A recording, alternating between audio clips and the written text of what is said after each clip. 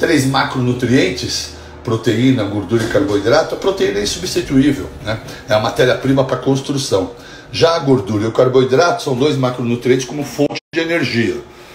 O mais comum são as pessoas escolherem o carboidrato de energia. Comum.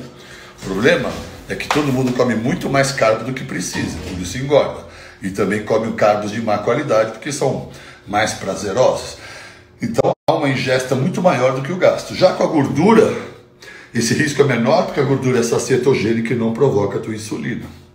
Vamos falar de insulina sempre por aqui. Nós estamos vendo a era do adoecimento tendo como base resistência insulínica, que é a sua insulina alta sem conseguir manter a glicose baixa. É simples, vou te ajudar a pensar. Você tem um, uma glândula chamada pâncreas que produz insulina. A sua função anabólica, além de tudo bem que ela tem uma função de aumentar o peso, ou até para ganho de massa, ou para gordura, depende do seu comportamento alimentar, é um hormônio anabólico, a insulina. Portanto, aqueles, aqueles bodybuilders sabem usar muito bem o carboidrato a seu favor. Já a grande parte da sociedade não sabe usar o carboidrato a favor do físico, porque faz uso do carboidrato como uma droga onde se busca recompensa e conforto, e normalmente são açúcares e carboidratos simples. Toda vez que você ingere carboidratos, você aumenta a glicemia, que é o nível de açúcar do seu sangue. Em contrapartida, o pâncreas recebe uma informação, essa sinalização, e aumenta a insulina para diminuir o açúcar no sangue. Então você recebeu energia, ingeriu, a insulina subiu, para poder descarregar essa glicose para baixo. Toda vez que a insulina sobe, o cérebro recebe uma informação: estoque energia. Estoque energia. Forma de estocar energia é gordura. Então você coloca alimentos ricos em açúcares, dá pico na tua insulina e a sua insulina vai lá e abaixa a sua glicose.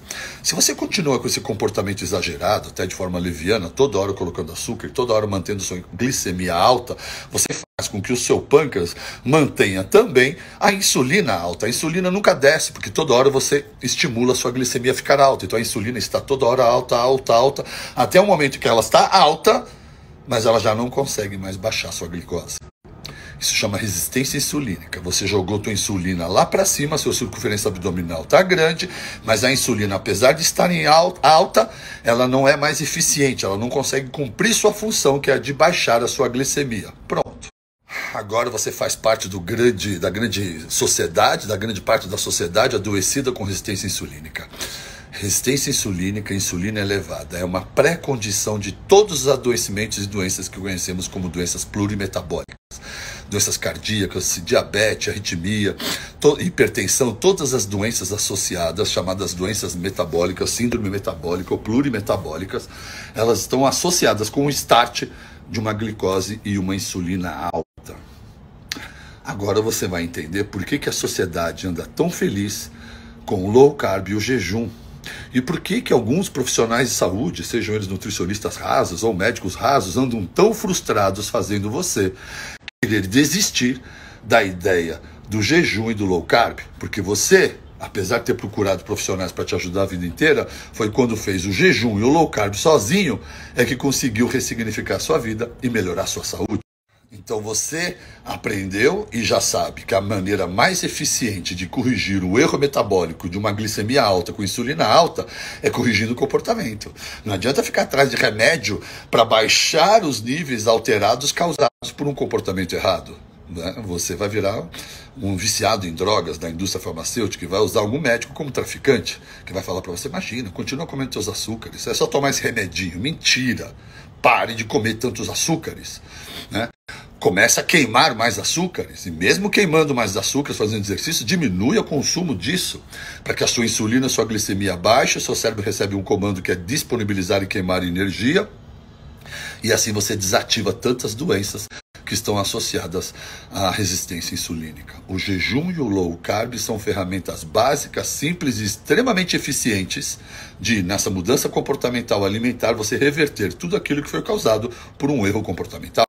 E é por isso que o jejum e o low carb faz tanto sucesso com a sociedade, é por isso que o jejum e o low carb são tão odiados por profissionais de saúde rasos. Quando o profissional de saúde te critica low carb e, e, e jejum, de duas uma. Ou ele é ignorante mesmo, ou ele é um pilantra, porque ele entende que você melhorando sem ele, ele faz, ele quer fazer você ficar morrendo de medo de jejum e morrendo de medo de low carb. Para quem sabe, né, para quiçá passar com ele, ele te prescrever um montão de remédio para diabetes e o nutricionista parceiro dele te prescrever sete refeições por dia de trigo integral, né? Agora é arroz integral, hein? Macarrão integral, hein? Pãozinho integral, que é a maior farsa da indústria alimentícia. E você, bobo, cai nessa conversinha. Não tem nenhum açúcar do bem. Tira fora, amigão. Você está com a insulina alta, está em pré-condição de, de adoecimento, muda teu padrão alimentar, não cai nessa conversinha, tá bom? Então eu vejo esse profissional de saúde te assustar, falar que jejum causa diabetes, que diabético não pode fazer jejum e tantas mentiras que você vai perder massa, que você vai adoecer e blá blá blá blá blá blá blá blá blá. Bom, então fique atento, não desista de um estilo de vida saudável, porque essa é a melhor maneira de reverter qualquer condicionamento de doença, promover sua saúde e prevenir futuras doenças. Ingira menos açúcar, menos carboidratos de baixa qualidade, promova o jejum, faça seus exercícios, module o seu estresse, exerça gratidão, procure estimular, pro, promover um sono de qualidade, e aí então você vai ter uma saúde elevada, uma imunidade blindada, fazendo suas escolhas alimentares. Tá bom? Não caia nessa conversa de que jejum e low carb vão te adoecer. Isso é a maior mentira e farsa e com a indústria alimentícia, né? cheio de produtos aí. É, o low carb, o jejum te ensinam a valorizar a comida de verdade. Sair fora desses produtos. Você largar depois do jantar, não passar um café da manhã, que normalmente se ingere muito carboidrato, dando uma bomba no pâncreas de insulina, indo até o almoço, e no almoço comendo grelhado, gorduras e saladas e vegetais, também mantendo insulina baixa, você vai conseguir com essa, com esse jejum e com essa primeira refeição, jogar tua insulina cada vez mais para baixo, com isso otimizar e ganhar mais saúde. Desative seu pâncreas que está trabalhando em excesso com esse estilo alimentar rico em açúcares e bebidas industrializadas. Pratique o low carb, pratique o jejum e adquira saúde, revertendo a sua resistência insulínica, que é uma condição de promoção de doença. Combinado? Valeu, Constelação.